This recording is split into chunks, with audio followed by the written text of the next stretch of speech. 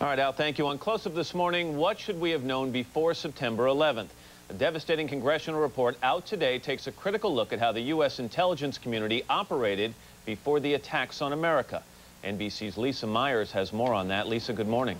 Good morning, Matt. The congressional report does not directly blame intelligence agencies for failing to stop 9-11, but concludes that the agencies were still fighting the last war against the former Soviet Union rather than preparing for the next one.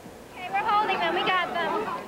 The report says intelligence agencies disregarded repeated warnings and failed to concentrate money and resources on watching and getting inside the world's most dangerous terrorist groups. A new revelation.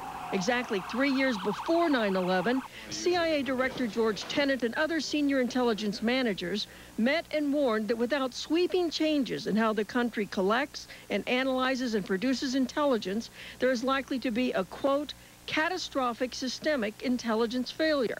The date of that meeting? September 11th, 1998.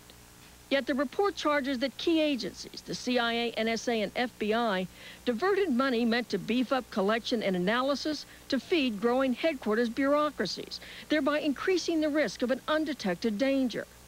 The report specifically faults the National Security Agency, which monitors tens of millions of bits of information a day, for not having enough analysts to make sense of the needles in a haystack and not making counterterrorism a priority.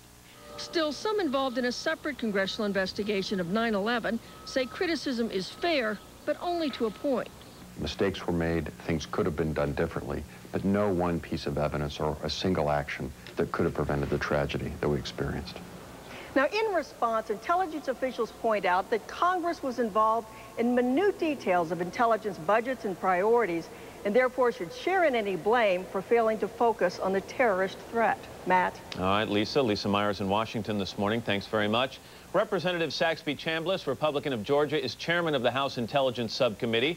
Representative Jane Harman, Democrat of California, is ranking minority member. Good morning to both of you. Morning. Good morning, Matt. Representative Chambliss, let me start with you. Six months looking into this, what's the headline in your opinion? Well, the headline is that it was an intelligence failure, Matt, but the fact of the matter is that uh, Lisa's exactly right. Congress has a, a, share in the blame because of uh, resources that were committed to intelligence, but there were some critical management decisions made in allocating resources that uh, that were made on the part of our intelligence gathering agencies that probably participated in not allowing the dots to be connected. Representative Harman, I want to talk about this meeting that was held on September 11th, 1998. George Tenet and other top intelligence officials were there. They mm -hmm. issued a report. Basically, that report said sweeping changes were needed. In your investigation, did you find that any changes were made?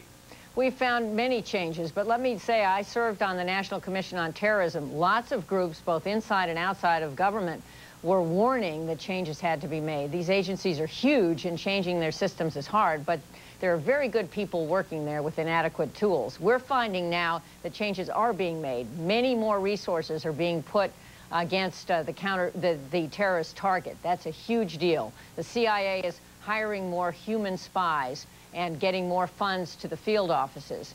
Uh, they're beginning to work on changes in language training, but they're way behind on that one. Information sharing is much better. Uh, we can see that across the government, but there remain huge gaps, and our focus is on preventing the next 9-11, learning from the last one and preventing the next one. Well, before I look to the future, Representative Chambliss, let me go back to another thing that you found in your investigation. The day before the attacks of the 11th, September 10th, the NSA intercepted a, a couple of conversations in Arabic that sounded like the needles in the haystack Lisa just talked about. One said, quote, the match is about to begin. The other said, something big is coming tomorrow. Now, I, I guess those comments alone couldn't prevent the attacks, but were they handled correctly?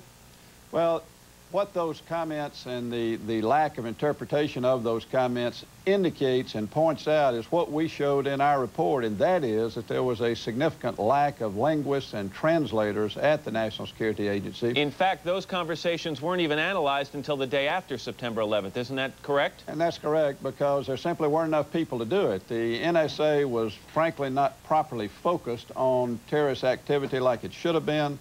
But another problem was that they didn't have the resources to hire enough, hire enough translators and to hire enough linguists to get those translations done in real time. Now, that was a management decision as to where to commit resources.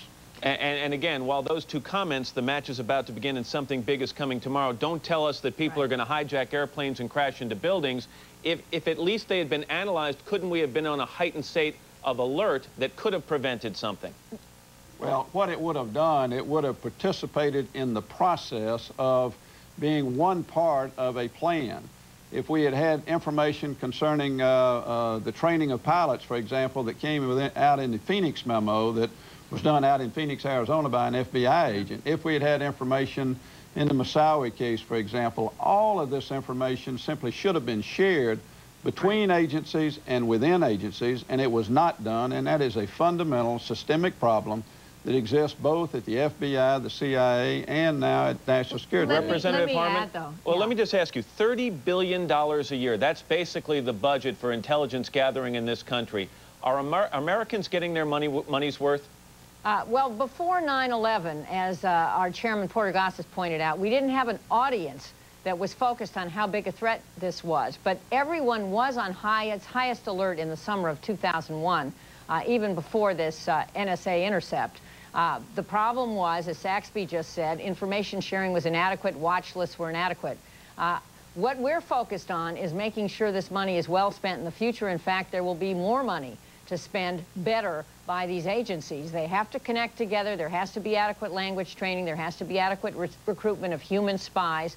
There have to be new systems. NSA right. can't possibly hear every single thing that is said over every telephone and internet system in the world. Well, quickly, they have to know what to go after. Let me just ask you this. If changes have to be made in the intelligence, intelligence gathering system, what changes are you going to make in Congress in the oversight system?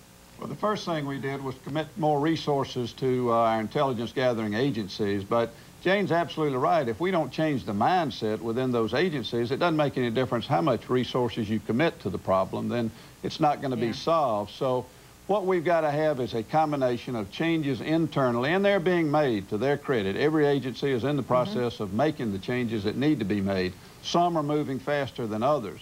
But what we're doing in Congress is, number one, committing more resources, and we've got to do a better job of oversight. We're willing right. to share in the responsibility. And we may have to change the way Congress is organized in order to do a better job of, of, of overseeing Homeland Security. Representative Saxby Chambliss, Representative Jane Harman, thank you both very much. Thank you.